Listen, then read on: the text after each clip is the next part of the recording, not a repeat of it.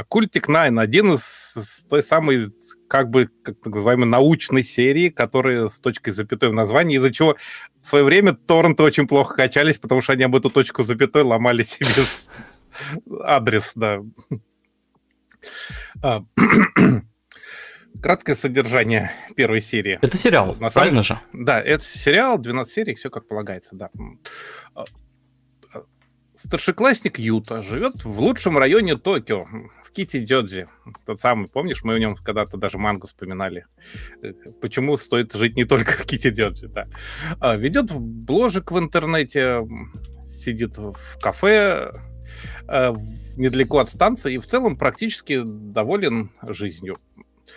И пока еще не знает, вот его бложек, э, пока еще не знает, что почти каждое слово в этом описании изменится до неузнаваемости, что и в целом, и практически, и довольны даже жизнью все будет не так, как кажется.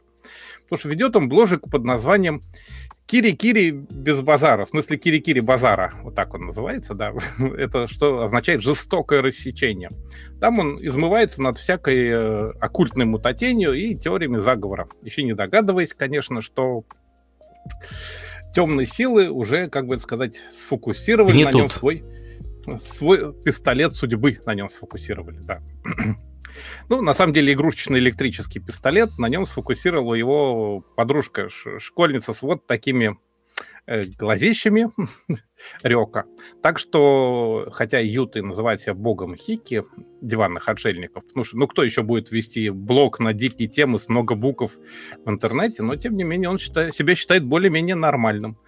У него подружка есть, и э, вдохновительница, и талисман блога. И выглядит он прилично, и даже не пахнет, как хики, что является частью его гордости.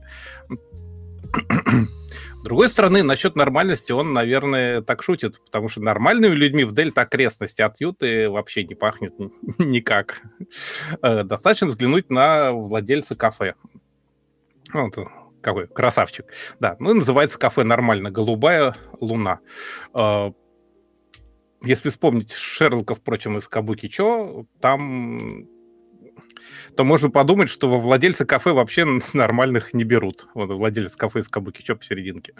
Э, Но это, конечно, не совсем так, но в контексте сериала еще сыграет свою роль, конечно. Э, Подружка тоже хороша. В первых сериях она такой отличный полосовой фильтр, что называется. Она, э, как бы это сказать, сформулировать правильно, она отсеивает слабых духом от сериала. Потому что своими выходками, особенно умением непрерывно строить каламбуры по любому поводу может не только отпугнуть от сериала, но оставить людей с ощущением, что я такое вообще, черт возьми, смотрю. И я прям помню по первым сериям народ прямо вот так, это что это было вообще, что я, что, что происходит. Потому что темп тут взят быстрый, события и комментарии к ним идут непрерывным потоком, и даже самые глупые шутки оказываются со смыслом, как вот, как любят писать под роликом в интернете. Ролик со смыслом смотреть до конца. Кстати, об интернете. Юта ведет аффилированный блог, то есть основной текст окружают референсные ссылки на всякие оккультные и не очень магазины. Может, он инфлюенсер? Ну, он так надеется, по крайней мере. И с чего теоретически э, Юте должна капать денежка. Но пока с этим не очень. Даже мороженку на для подружки, которую ей давно обещает, пока не набежала. Поэтому Юта в постоянном поиске какой-нибудь сенсационной истории. Ну, вот, скажем, по телевизору показывают всяких жуликов. Ну, в смысле, это из другого сериала про жуликов. Ну, по телевизору показывают, во-первых, рекламный ролик его одноклассницы. Это же битва считает себя экстрасенсов. Да, там битва экстрасенсов, да, практически. Это, это сейчас мы к ней вернемся, да. И в промежутках там показывают рекламный ролик ее одноклассницы, которая как раз, э, собственно, занимается всем этим потусторонним, то есть целевая аудитория -то тут, на месте. А, Она считает себя предсказательницей, поэтому вот у нее снимается в рекламе, мы с ней, о ней сейчас поговорим. А во-вторых, да, показывают вот тех самых, вот у нее рекламка, да, вот этих вот битвы экстрасенсов, всяких э, жуликов, в смысле одного профессора, который внезапно поехал на почве оккультизма и утверждает, что тонкий мир существует рядом с нашим, и э, от чего его всячески на телевидении чморят, и, и на ТВ, и в институте, в общем, все как-то не, за- не залаживается в него, да. А одноклассница, предсказательница вообще тоже приходится не сладко, потому что есть такой жанр холодных предсказаний. Это когда у предсказателя есть время подготовиться и узнать побольше о посетителе. Ну, вот как Баба Ванга, например. К ней надо было записаться на аудиенцию, и тогда уже... И за это время они успевали провести разведку, насколько я знаю. А, и я не зря, кстати, Вангу упоминаю. И есть еще жанр горячих предсказаний. Это самый трудный жанр, когда все то же самое приходится делать в реальном времени.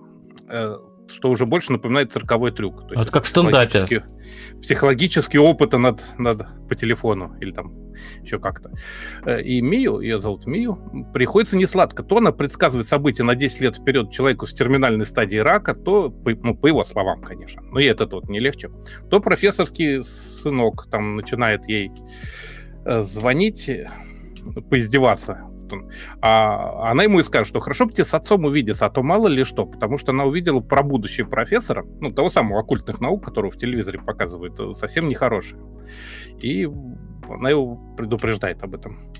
Ну, в общем, как-то очень много у нее психических и нервных сил уходит на все это, хотя она честно считает, что она умеет гадать и по картам, и вообще она как раз увидела что-то нехорошее, рассказала ему, а, и получила от него еще пару оскорблений по телефону.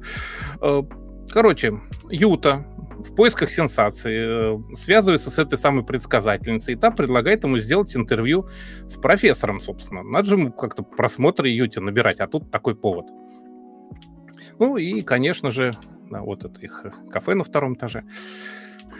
Вот они как раз пришли, они в этом кафе, я так понимаю, у них база, как вот у нас анимки происходили, помнишь, там во всяких Макдональдсах, так вот у них вот это кафе «Голубая луна» в качестве базы.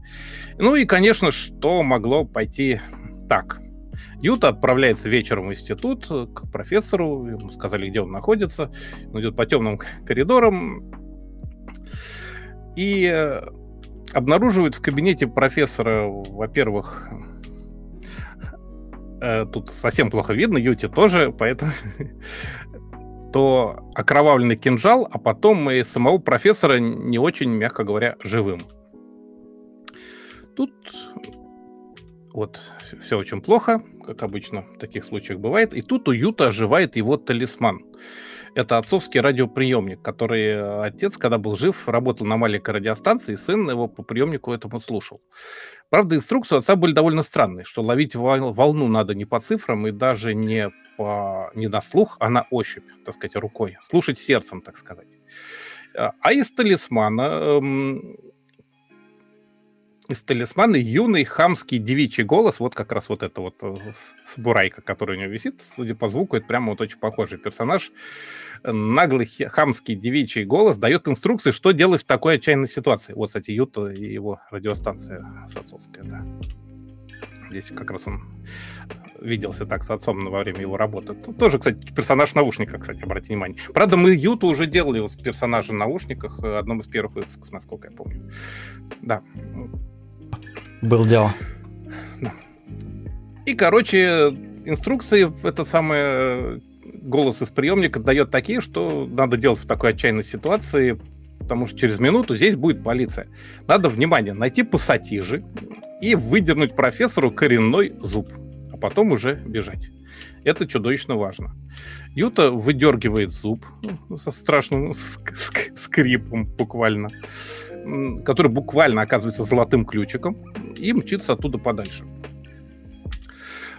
И дальше развертывается просто какой-то ад. Дело в том, что рядом с Кити, станцией Кити Джоджи есть место, которое знает любой правоверный анимешник. Это парк Инокощера. А, дело в том, что именно на краю этого парка, вот э, мои фотки тут как раз немножко, это находится музей студии Гибли. Поэтому каждый, кто видел фотографии музея снаружи, тот видел этот самый парк и где очень много событий происходит в сериале. Еще парк известен большим красивым прудом. Тут как раз у нас фотки марта, вот десятилетия давности, март 13 года мы там когда с тобой заглядывали туда. Вот как раз этот парк и на Косера, куча народу, лебеди, вот это все лучших традиций. Да, и вот водный велосипед в виде лебедей, это тоже такая фирменная фишка этого парка. Они где-то еще есть, но здесь прямо, если видишь, как правило, это парк и на Косера показывают. И вот тут начинаются всякие теории заговора, потому что срабатывает дурацкая отечественная присказка «на студии Гибли все погибли», помнишь? Нет, со студии все нормально, но вот одним не самым приятным утром в самом начале мая в пруду обнаруживается ровно 256 утопленников, два в восьмой степени. Крики, полиция, сенсация в газетах, потому что совершенно непонятно, что произошло. И дальше все 9 шестеренок персонажей, собственно, Оккультик 9, поэтому 9, приходят в зацепление, начинают раскручивать какую-то совершенно дикую, нереальную, взятую со слов, словно со страницы оккультного журнала историю, где все завязано друг на друга жесточайшим образом. Потому, собственно, и оккультная девятка, что их 9. А, вот, сейчас покажу, еще там совершенно потрясающие кадры есть.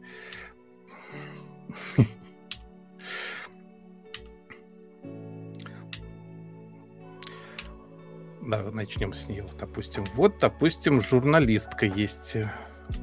Где она у нас? Нет, это все еще кадрики. Сейчас я пытаюсь пролистать на что-нибудь. Просто насколько это клубок завязанный во все. Вот как раз Оккультик 9, да. Да, да, как обычно, потому что, ну, красивые кадры, прямо очень классно сделаны, эстетика прямо офигенная. Вот журналистка, господи, добрался до нее, да. Ее зовут Тоуку, она, э, собственно, ей профессор, который покойник теперь, э, передал важный манускрипт. Но только вот профессор не сам это сделал, по понятным причинам, а манускрипт передала какая-то пожилая женщина ей. Вот сейчас как раз эпизод с передачей манускрипта, да. То есть через, через посыльного передали ей э, какая-то пожилая женщина. Дело в том, что... Ой, какая-то она mm, угловая да. пожилая женщина. Да, да, да, она вот реально ее как бы не показывают специально вот так. Там вообще много такого вот голландского угла. Профессор не сам сделал, а Дело в том, что мать профессора умерла давным-давно, и там никаких таких женщин не должно было быть. То есть она уже загадки, она сама в оккультном журнале работает, мы еще к нему вернемся. А, и или художница вот эта, она рисует Еойные дадзинси, в которых а, откуда-то возникают детали будущих преступлений. А, в результате все давятся, но, но вынуждены это читать. Там реально с такими лицами они это все делают. Потом, например, появляется какой-то Сейчас. Ракурсы в сериале, кстати, прекрасные. Вот, например, вот такой есть. Откуда упал, оттуда и снимаю, называется, да. Есть мальчик-маньяк, которому ничего не будет, потому что он несовершеннолетний. Так, что он постоянно и повторяет. Самое убойное в том, что он буквально вангует. То есть он использует карты игровой серии «Вангард». Есть даже аниме такой по мотивам. Сейчас вот, вот такой вот аниме есть. Cardfight Vanguard, собственно, да. То есть он буквально вангует этими картами. И по-японски-то ванга это Vanguard, это ладно, так и будет. Вот девушка из оккультного салона, которая год прожила с мертвым братом, а теперь ее сопровождает дьявол. Вообще все, все прекрасно. Как бы. К ней еще дальше забегают, э, забегают девочки из бложика Юты, вот эти две как раз которая гадает по телефону и которая талисман Юты. И чтобы по приколу проклясть его.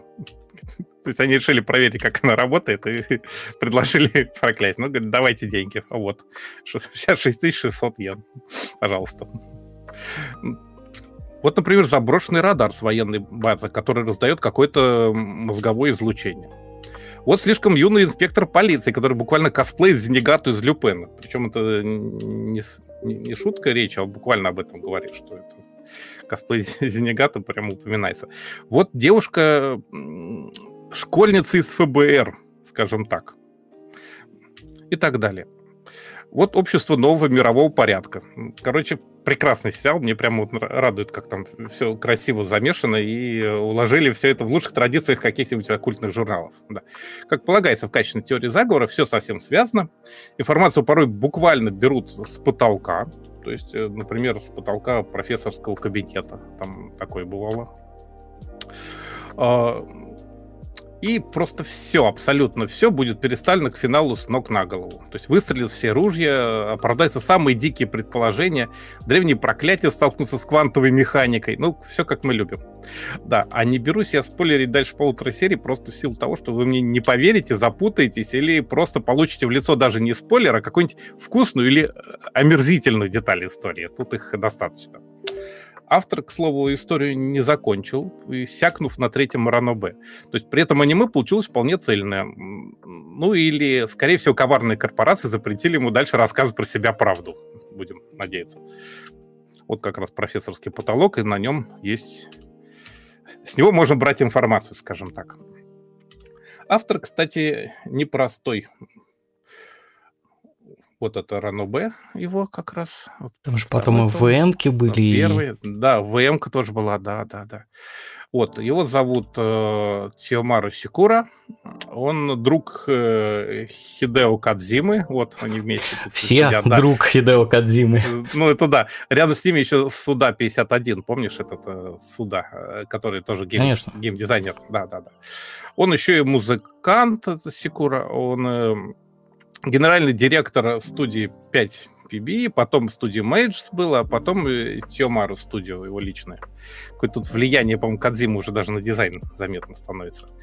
Вот. И он продюсировал все легендарные игры вот с точкой с запятой в названии. House Head, Врата Штейна, Robotics Notes, Occultic Nine и так далее. Это вот прямо вот э, он генеральный продюсер этого всего. Э, и все эти истории расположены в одном э, Континууме. Как бы, э, континууме, да, который называется Кагаку Adventure, то есть научные приключения. Ну, с научностью у них, как вы видите, так себе, но Наука люди в белых халатах... Да, люди в белых халатах играют значительную роль. В этом году, кстати, обещают выпустить э, английскую версию Anonymous Code, вот этой игры, э, новый который проект, ну, относительно, событие, которое происходит в 2037 году. У программистов, кстати, должны щелкнуть, потому что это год обнуления счетчиков Unix машин. Там переход на новый бит, и к чему, мягко говоря, не все готовы. И на Земле снова воцарится 1970 год, понятное дело. Ну, как ошибка 2000 года, только не у пользователя, а больше на серверах. Uh-huh. Что гораздо страшнее, в общем-то, в последствиях, да. А, но еще проблема в том, что к началу этого года все эти фирмы Тиомара Секура обанкротились, и всякие продолжения, аддоны вот для игр под вопросом. Вот видишь, там Occultic Nine не будет переиздания там и так далее. Еще они хотели там дозакончить сюжет еще коротенько и не смогут все эти годы игра была недоделанной, представляешь? Они вот обещали все аддоном сделать окончательный финал, и, похоже, таковой не будет. А, новые версии Врата Штейна, Robotics Notes тоже непонятно что, так что неизвестно, как там пойдет, может, кого-то перехватит, либо нет. В общем, нам какие-то сложности с деньгами сейчас серьезные, прямо вот у фирмы. А, но вот, конечно, обложки визуал новелов и игр, конечно, огонь. Просто у них Два огня, я бы сказал. Да, вообще, да. А, режиссер, кстати, хороший, Кехей Сигуру его зовут. Он сделал очень новаторский монтаж такой с короткими врезками из будущего и прошлого. Там буквально по кадру, там, знаешь, смотришь, только вспышка перед глазами, а тут тебе кадр такой флешбэк показали тебе. Или флешфорвард, наоборот. А, с необычными ракурсами, но без всякого, как бы, это, шафтинга. Помнишь то, что любит у нас делать режиссер студии Шафт, как его опять забыл фамилию, который в Покемоногаторе и, и все такое. Акирики Симбо. Акирики Симбо, да, вот он любит шафтинг, это вот когда сложные ракурсы, с, такие абстракционистские, с косыми лучами света, это все вот прямо его фишки. Здесь косые тоже лучи есть, но оно какое-то все предельно реалистичное при этом. В общем, в теории про теорию, в сериале про теорию заговоров очень важно, что все выглядело предельно достоверно, и Сигура вот как раз отлично справился. Э, очень свежая такая и, э, как бы сказать, красивая картинка, и даже весь этот ужас выглядит очень эстетично там. И в принципе, самого режиссера-то вы, наверное, хорошо знаете, потому что он начинал на сериале «Твоя апрельская ложь», Потом успел сделать довольно странный проект, как «Дети китов». Не путать с «Детьми моря», это не его. «Дети китов» именно были такие необычные. И вот недавно мы рассказывали про его чудесный совершенно полнометражник «Слова пузырятся как газировка», да, «Мое 17 uh-huh. лето» на Нетфликсе. И вот, кстати, вот на этот фильм, кстати, тоже в кино стоило бы сходить. Вот это, Если бы нас его показывали. Не-не, он на Нетфликсе, понимаешь, какая засада-то? А, да. он, вот, вот, прям вот, а его как раз для кино прямо идеально, по-моему. И еще как бы от себя скажу, что я очень люблю листать оккультные журналы, хотя как бы совершенно не, не по этому делу, но прямо обожаю. Вот журнал Му, который в сериале стал журналом Муму, он прямо вот в лучших традициях РЕН ТВ. Обратите внимание, что их на всех обложках есть глаз появляется. То есть это журнал вот такой весь по НЛО, видишь, глазик у них обязательно на обложечке присутствует на каждой. Это, по-моему, такая тоже фишка у них в последнее время. А в сериале этот журнал называется Муму, и у него почему-то два разных дизайна. Вот такой, как вот Му, и Муму это Кана. А есть еще вот такой дизайн, я не знаю, он почему-то проскакивает где-то. Откуда у них два дизайна? Или это из параллельной вселенной? Не знаю. Но вот прям вот почему-то... Или это какой-нибудь ранний эскиз был? Не знаю. Почему разные художники нарисовали. Не знаю, почему так получилось. Да. В нем даже Бакота Синкай печатался. Ну, Синкай, конечно, везде печатался, но вот в оккультном журнале это сильно, конечно, Синкай читать. Он там про то, что прилетающая комета в, в твое имени, она была разумной, говорил, например. Я вообще, меня, конечно, теориями заговора не проведешь, я всегда стараюсь проверять, конечно, всякие фактику, предупреждаю, если что-то не так, но... Видишь, я, у меня заговора... сегодня шапочка из красной фольги вязаной. Это про вязаной фольга. Защищен. Отличная идея, да. А, кстати, вот там же есть мысли излучатели, но, блин, никто фольгу не носит. Я недоработочка прямо. Шляпа у них есть, вот даже, видишь, в качестве вещдоков присутствует. Но фольги почему-то у них нету. А, вот не все теории заговора вымысел, как с историей с Хемингуэем была, вот когда он считал, что за ним следит ФБР, все смеялись над его паранойей, а потом казалось, что за ним и правда следил ФБР. В общем, чрезвычайно, как бы сказать, уютный сериал, хотя очень странно рассказывать про, э, про уют в сериале, который, в общем-то, весь на совершенно ужасных событиях и последствиях э, сделан. С мистикой, магией, убийствами и всем прочим вот этим кошмаром. Но я не знаю, как у них получилось, но он прямо вот выглядит очень его очень интересно смотреть. Он очень занятный, очень уютный. Я не знаю, как у них это прямо вот получилось. Совершенно непонятно, как это сделано. А, дело в том, что картинка у него потрясающая за счет, конечно, худож... аниматора-постановщика Тамаки Такасы. Вот он. Э, он э, Fate Grand Order в Вавилоне и Саекано его, конечно, вот все, включая полнометражник, который я тоже рассказывал, это все вот этого художника, аниматора и художника-постановщика. Он совершенно офигенный. То есть, видимо, это прямо вот его рука тут очень сильно помогла. Ну и, конечно, предельный реализм сериала заключается в том, что все места, все вот это вот, э, все настоящее. Реально. То есть, э, да, да. И кафе существует, и не сильно, кстати, поменялось за эти годы. Вот это вот как раз в сериале, вот фотки настоящие. И оно внутри также эпично смотрится вот с этим самоваром. Такой восточный колорит, прям колоссальный. А, и, кстати, оно вот не сильно сейчас, даже спустя сколько уже сериалу лет пять, больше, э, оно не сильно изменилось, только вот появились разделители э, от ковида, вот эти вот, которые сейчас во всех кафе японцы в прошлом году поставили, за прошлым уже теперь. Такой вот. И называется Blue Moon, то есть не Blue Moon, а Blue Moon, как бы Bloom, цветение, и Moon, луна. Наверное, вот так вот. Видишь, оно странное название.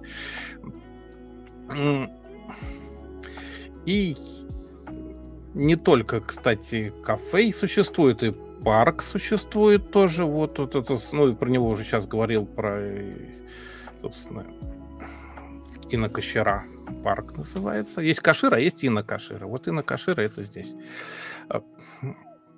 А, Тут он, кстати, осушенный, вот тут идет фотки с осушенным парком, да, то есть они воду, не парк с прудом, они пруд сливают иногда, я так понимаю, для чистки. Э, школа, университет Сейкей, в сериале он Сеймей называется, тоже существует совершенно такой же. Э, и район Кичиджоджи сам по себе тоже очень похож. Вот станция и город с минимальными отличиями, в общем-то. И Ну, Китидёти вообще считается один из лучших районов для жизни в Японии, поэтому, наверное, так тут все подробно. Есть еще храм Энмейдзи в сериале Анмейдзи, и, и вот тут он очень тоже. Только он гораздо более таинственный, потому что он ночью в сериале присутствует в основном. Днем он гораздо более такой бытовой. Но ночью вообще другой, другой город становится, это понятно. Даже вот эти мозговые излучатели присутствуют на самом деле. Я, я вообще думал, что вот это уж, уж это они придумали. Но нет. Вот. Да, там совсем рядом военная база воздушных э, сил японских самообороны. И она называется а, Фучу, авиабаза Фучу. И прямо то есть вот она вот реально существует, и радары эти стоят. Все, все правда, короче. Вот вообще, вообще все правда. И даже там есть сериале упоминание, что 256-килограммовая бомба в храме лежит. И реально в храме лежит бомба, правда, там 250 кило, конечно, но точно такая же на вид э, вообще. И главное, столько же человек утонуло в озере, поэтому это все как-то завязано друг на друга, это, там, вся эта вот теория заговора, все это хорошо между собой сочетается. Я этот сериал очень люблю, несмотря на отрывистость повествования, за, собственно, режиссуру и такой крепкий, складный сюжет. Как не тяжело в это поверить, потому что там реально все ниточки в конце завязываются. Еще, конечно, у меня очень лично к нему отношение, но это даже не знаю, как даже правильно сказать, потому что я его смотрел вскоре после того, как э, потерял отца, ну что так уж случилось, да, ну что поделаешь. И на эпизоде, где Юта видится сквозь радиоволны еще один последний раз с отцом, есть там эпизод такой фантастический, абсолютно по красоте сделанный, это я просто вот ехал на верхней полке плацкарты в Воронеж, был начало мая, как в сериале, и я вот ну, всю ночь ревел в подушку в результате. Mm-hmm. То есть это у меня такое еще личное накатило впечатление, прямо вот попало в самое сердечко. Ну, кому-то может не понравиться, кому ну, атмосфера тайны, понятное объяснение совершенно непонятных событий, очень знакомые места и вот очень симпатичный дизайн всего этого меня полностью подкупили. Но сериалу требуется, как бы сказать, настройка на волну во всех смыслах. Так что можно сказать, что Восемь с половиной золотых ключиков из десяти я ему, наверное, поставлю. Ссылочки на всякие там вот эти вот путешествия и обзоры, где и какие места на самом деле существуют, это прям вот... Еще Китиджи, там же этот район рядом, в котором все анимационные студии находятся, так что это прям вот такое золотое место для каждого атаку. Так что вот, хороший сериал, странный, кому-то может дико не понравиться, кому-то может дико зайти. То есть он очень в этом смысле спорный, конечно. Но нитки завязали, то есть все дикие ситуации в начале к концу превращаются в не менее дикую, но вполне логичную картину, так что очень рекомендую. Называется Оккультик 9 через точку запятой. Оккультная девятка. Да, но интересно, что, по-моему, на Crunchyroll его, по-моему, Оккультик 9 так и пишут. Да,